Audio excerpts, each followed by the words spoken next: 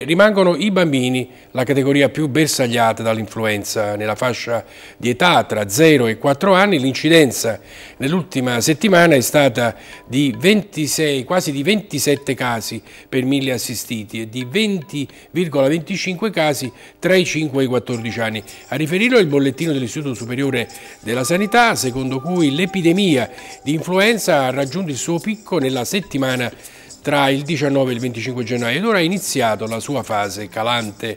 Il livello di incidenza in quest'ultima settimana tra il 26 gennaio e il 1 febbraio è stato di 10,35 casi per mille assistiti, dopo aver raggiunto in quella precedente il picco di 10,67 per mille assistiti.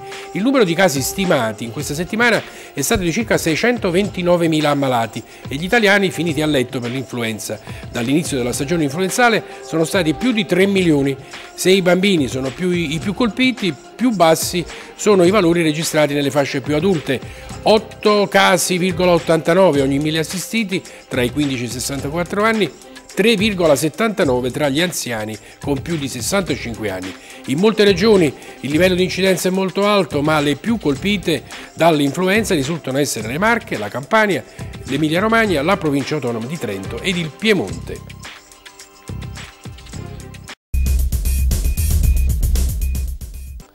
Uno studio della Michigan State University ha scoperto che più eh, gli utenti di Facebook eh, vengono coinvolti in pagine o post correlati all'alcol, condividendo o anche semplicemente commentando, più è probabile che considerino di bere alcolici.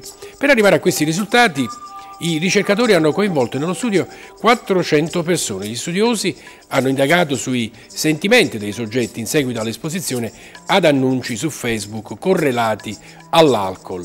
Quello che si è scoperto, dicono gli esperti del Michigan University, è che se la gente in realtà si sente molto impegnata con il messaggio e vuole fare qualcosa come condividere o commentare, ci sono più probabilità che pensino molto al bere. Questo, secondo gli studiosi, potrebbe avere implicazioni gravi, soprattutto considerando l'esposizione dei giovani e dei giovanissimi a questi messaggi. I bevitori minorenni vedono questi annunci, interagiscono con essi ed iniziano a pensarci. Anche se per legge i social media non possono inserire contenuti connessi all'alcol rivolti ai minori, per i ricercatori non si può controllare certamente ciò che avviene in essi e su di essi.